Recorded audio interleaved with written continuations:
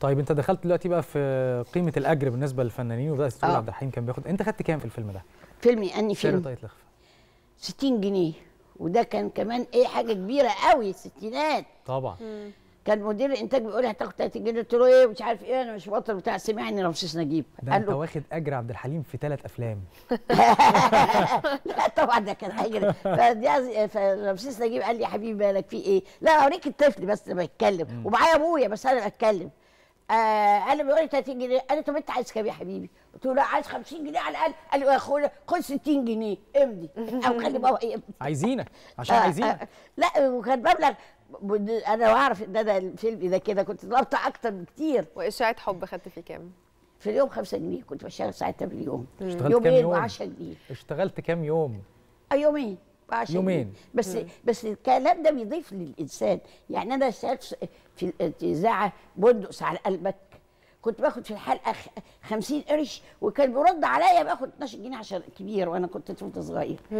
ورغم ذلك كنت أدفع من جيبي عشان ده ساعه قلبك اشهار طب آه، النهارده بقى وأنت شايف الأعمال الدرامية والسينما إيه يعني حابب ترجع تاني؟ وإيه الأفلام اللي علقت معاك مؤخرا جديدة؟ هو في طبعا أفلام كويسة جدا ما بنقولش لا مش كل شيء سيء ومش كل شيء آه، يعني في حاجات كويسة جدا. شفتها وأفلام قادر تشوف جداً. الأفلام الكوميدية بنفس القيمة اللي يمكن كنت كنتوا بتقدموها يمكن زمان؟ فرص شوية أو over شوية.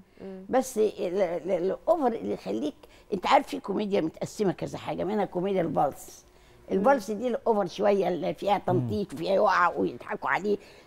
يعني نوع رديء من الكوميديا. آه، لكن في حاجات حلوة جدا وفي ناس مبدعين جدا. وبس أنا اللي حصل بعد ما طلعت على المعاش مش راضي أخبط على حد.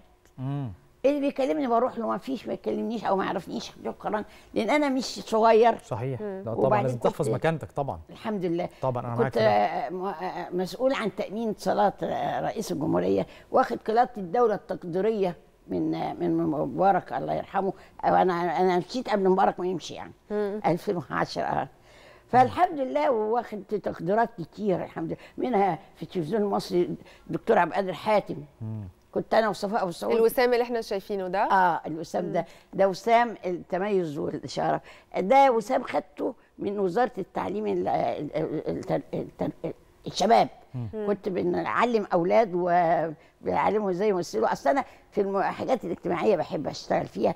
لأن نوع من أنا مش يعني الحمد لله مش بدور على المادة. لأن أنا زوجتي إنسانة محترمة مش ما عندهاش تطلعات عالية فمش مطالباني يعني. ربنا يبارك لكم في بعض يا رب ويخليكم لبعض شايفاني دلوقتي وبتسجلي أكيد طبعا أكيد طبعا ربنا يخليها لك يا رب. وسهلا. أنت خايف تروح أكيد. ده أنت خايف تروح عشان كده بتقول كده. أنا مش حكومة. ربنا يخليكم لبعض يا رب متشكرين جدا. شرفتنا ونورتنا